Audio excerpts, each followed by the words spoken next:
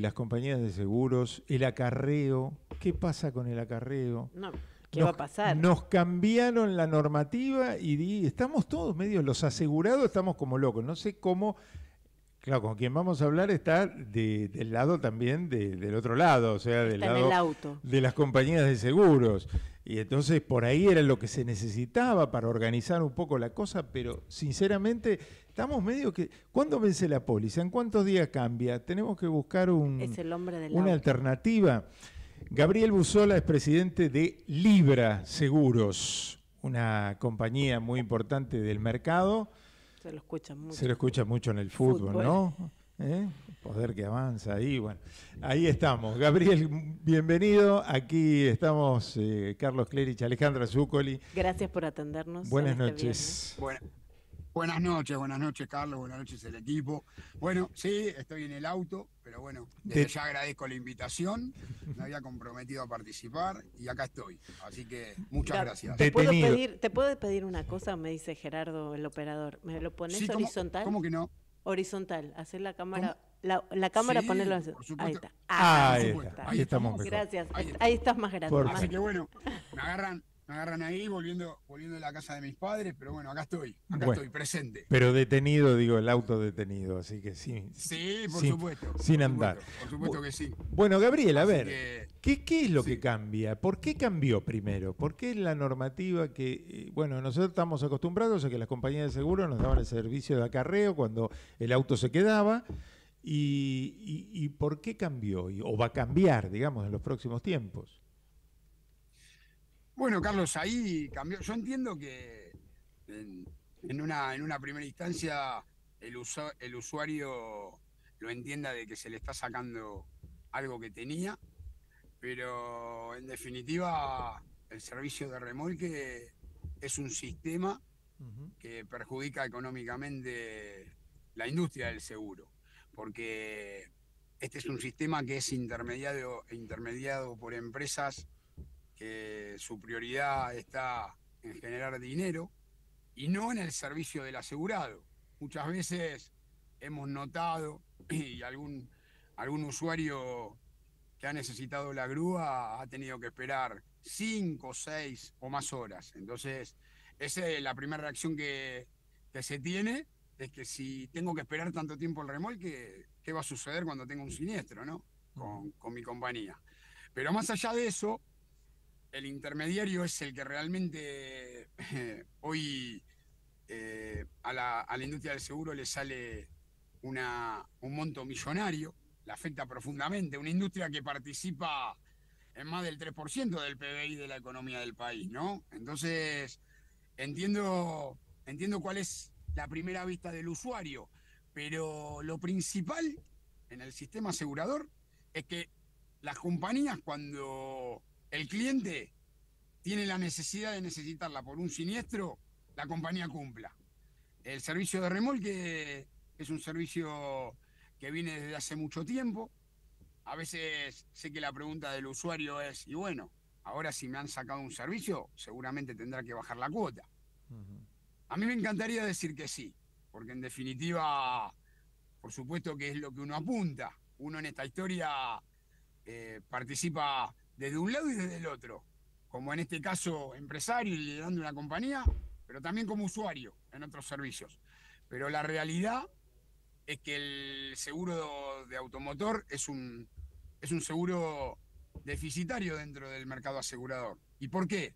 Y más en momentos de crisis profunda. En momentos de crisis profunda siempre lo fue. Porque las compañías que antes se podían sostener desde el rendimiento financiero, hoy no lo pueden hacer, hoy ha aumentado el delito, ha aumentado el fraude, hoy estamos indemnizando eh, partes que tenemos que indemnizar, o partes o totales, que están por encima de lo que es el índice de inflación. ¿Y por qué? Vamos a poner un ejemplo. Hoy una cubierta cuando una compañía tiene que indemnizar una cubierta, si no existe esa cubierta, el precio lo pone quien la tiene. Y bueno, esto es algo que realmente hoy empiezan a modificarse diferentes situaciones. fuera de cualquier ideología política, lo estoy diciendo. Estoy diciendo que cuando baja el índice inflacionario, bienvenido, y cuando empezamos a encontrar los repuestos que tenemos que indemnizar, bienvenido. Pero volviendo al sistema de remolques. El sistema de remolque yo lo voy a definir en dos palabras, por más que suene duro. Es un sistema para el mercado asegurador nefasto y corrupto. Y en definitiva, a largo plazo, el usuario lo que más tiene que buscar y con, con lo que se va a encontrar con decisiones de este tipo es con un mercado asegurador sólido, que eso es lo que necesitamos todos. A ver, eh, estamos charlando con el presidente de Libra Seguros y la pregunta es, ahora te pongo a vos también del lado del usuario. ¿Qué vas a hacer? Bueno, eh, primero expliquemos los plazos. Eh, ¿Es dentro más o menos alrededor de 90 días o cuando venza la póliza, si es si la póliza vence antes de ese plazo, se prolongaría hasta el vencimiento de la póliza, ¿verdad? El servicio como estaba hasta ahora. ¿Qué harías? Es decir, hay que ir a buscar eh, un servicio alternativo. ¿Habrá compañías de seguros que sigan ofreciendo por un diferencial esta cobertura? Eh, ¿Hay que ir a buscar los clásicos que ya conocemos o, o pedir una grúa en el momento que uno tenga el problema con el auto? Mira, Carlos, ahí va a estar un poco en la decisión de cada compañía, ¿no? Tanto en lo que es la tarifa como en lo que es la solución o definición de lo que, de lo que tengan como plan de negocio cada compañía. Hay compañías que van a estar decidiendo cobrar el remolque aparte. Eh, son 90 días. La Superintendencia de Seguros de la Nación, que es el ente de control de la industria, lo que determinó es que dentro de 90 días ya no va a ser más obligatorio el servicio de remolque para las compañías de seguros, que lo intermedian, porque no es que las compañías de seguros tienen grúas, propias, sino que por, por, un hecho de competencia y por un hecho que se ha instalado así en el sistema y no se ha cobrado un costo, un costo extra, que ha sido una decisión como así hoy, me parece a mí, respeto todas las ideas, pero mi opinión es que es una decisión acertada, porque todo lo que todo lo que vaya a favor de la solvencia del mercado asegurador para mí es positivo.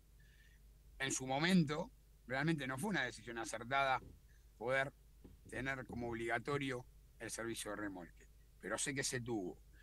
Y cada compañía hoy va a decidir. Hay compañías que van a bajar sus costos, hay compañías que van a cobrar lo mismo y hay compañías que van a aumentar sus costos.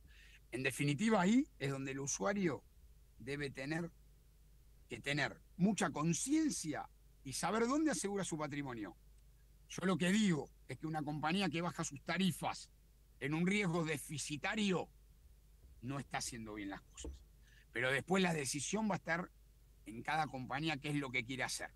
Y con respecto al remolque, va a haber compañías que van a cobrar un extra por el servicio, va a haber compañías que directamente van a decidir no tener el servicio de remolque, pero hay algo que es importante aclarar para el que nos está escuchando. El servicio de remolque sí se sigue teniendo, pero en caso de siniestro, no en caso de una, una falta de batería, una falla mecánica, una pinchadura de rodado o cualquier desperfecto que no sea por una situación de siniestro. Las situaciones de siniestros, esto es importante que el oyente lo sepa, me parece que es muy importante. Las situaciones de siniestros van a estar amparadas por un servicio. o sea, si uno tiene un problema... no va a estar amparado... Con, uno, con un choque, con un robo o con un incendio o lo que fuere, eso está cubierto. Vas a, claro. vas a seguir teniendo el servicio de remolque. Lo que no se va a tener es el servicio de remolque en los casos que no esté amparado por la cobertura de la póliza, como tendría que haber sido siempre. Pero entiendo que el usuario hoy dice me sacan un servicio, lo entiendo. Pero lo que yo, y esto lo, lo cuento porque lo vivo en el día a día, la suma que le significa al mercado asegurador sostener ese servicio, cuando el único que tiene rédito es el intermediario, porque el gruero, en una cuestión de volumen, acepta ese servicio. Pero ¿qué pasa, Carlos? Después cuando tiene que reponer su unidad no la puede renovar. Después cuando tiene que cambiar las cubiertas no, la puede, no las puede cambiar, porque cuando digo que es nefasto y corrupto, quiero que se entienda bien, estoy hablando del que intermedia, no estoy hablando desde el punta, punta a punta, desde el gruero y compañía de seguros. Y vuelvo a repetir, el servicio de remolque en caso de siniestro, el cliente o el usuario lo va a seguir teniendo. ¿Ustedes como compañía ya tienen tomada la decisión de cómo va a ser el futuro o todavía lo están pensando? Mira, nosotros como compañía estamos analizando, siempre eh, tratamos de ser innovadores. Hoy tenemos un producto que se llama Orange Time, que es un producto que se paga por el tiempo de uso del vehículo, siempre estando asegurado. Este es un sistema que no existe en Argentina, es una nueva metodología que, se va a dar en asegurar los vehículos. Y lo que estamos pensando es darlo en algunos productos puntuales, en caso de siniestro en todos los casos. Pero en este excedente que hoy, por ahí, el usuario no lo va a encontrar en todas las coberturas, 100 coberturas diferentes.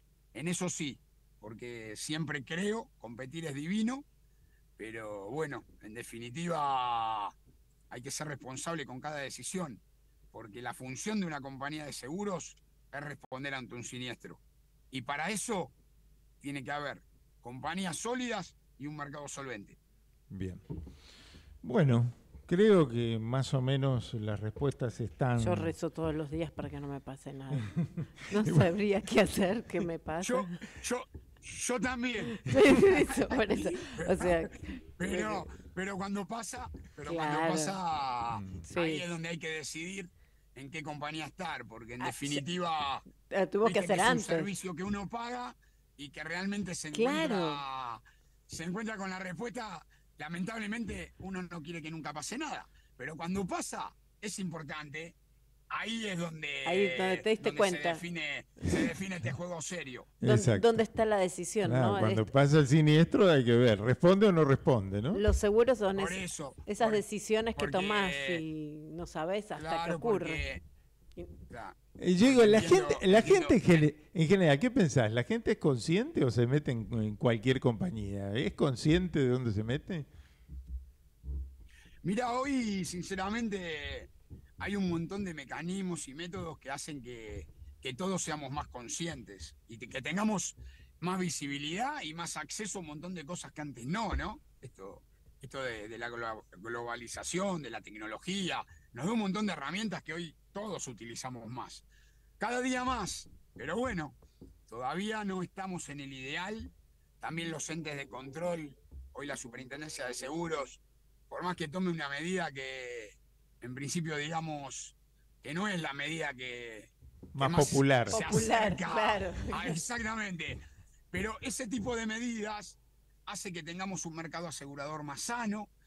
Y ya no es que estamos hablando de una sola industria, ¿no? Yo creo que como sociedad hoy tenemos una necesidad de un cambio cultural y moral eh, en, el conjunto. Creo que eso es lo que, lo que por lo menos yo pienso, creo que la mayoría estamos buscando. Vuelvo a repetir, fuera de cualquier ideología política, a mí no me mueve ninguna bandera política. Yo abrazo a las personas y sigo a las ideas o lucho por las ideas que veo que se hacen bien las cosas y me fastidio mucho cuando veo que se hacen mal. Entonces creo que hoy esa ola de trabajar nosotros para las generaciones que vienen, que realmente dejar esa huella, porque uno parece que a veces esta sociedad, yo pienso que tenemos bastante deformados algunos, algunas prioridades. Creo que el hecho del dinero muchas veces nos tapa los ojos y yo creo que el ser exitoso pasa por otro lado. Y hoy construir para las generaciones que vienen creo que es algo que cada uno de nosotros de donde estamos, desde mi humilde opinión, respeto todas, creo que tenemos para aportar. Entiendo que mirar para atrás y decir la historia es difícil, pero no creo en los imposibles. Y cada uno cumpliendo una función desde el lugar que ocupa, me parece, ese es un punto de inicio. Desde ahí se arranca. Esa es mi humilde opinión. Gabriel, muchísimas gracias por este rato, por habernos atendido en un momento de movimiento, pero... Adentro del auto, porque... Pero es, siempre. Casi que es una buena escenografía. está muy bien. Vos vivís ahí, sos fanático de tu trabajo. La verdad, la verdad que no la, no la uso mucho. Podría haber puesto otro fondo, pero acá estoy. Así, no es un, no es pero siempre, siempre presente y a disposición para cuando lo necesite. Y estás estacionado, ¿no? Sí, sí. Porque si no. Eh, no, sí. Escúchame, porque. Estoy, estoy estacionado. Si no, si no el lunes cuando llego a la compañía, créeme que por más que sea el presidente, que es una función que ocupo, eh, como que me estarían tirando de las orejas. no, y si no, escucha, escucha. Si no, si no, yo desde acá te digo, este, ojo, el, el celular al volante mata, ¿eh? luchemos por la vida, te digo yo. Nunca, nunca, no, me estacioné, me estacioné porque primero que me apasiona hablar de estos temas y segundo tomé un compromiso y siempre soy agradecido por la invitación. Bueno, muchas gracias, Gabriel. Muchas gracias. Un abrazo. Muchas gracias a ustedes. Ya podés salir, de, ya podés salir del auto. Ahora sí, nos ponemos en marcha. El cinturón, Chao, Gabriel Buzola, presidente de Libra Seguros.